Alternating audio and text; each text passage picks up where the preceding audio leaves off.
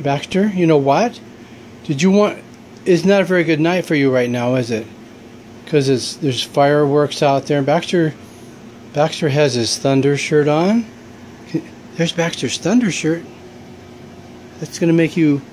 Is that gonna make you a little more calm, huh? Baxter, you want me to get you some food? You want some food? Baxter's a little scared right now. We were outside and Baxter heard some fireworks, didn't you? So we're going to be in here.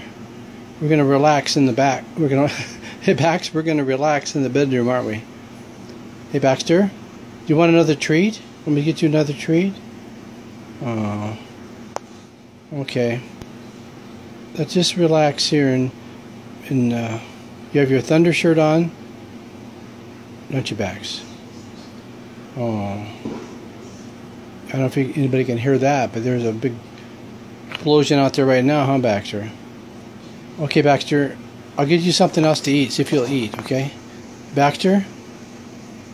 That's a good boy.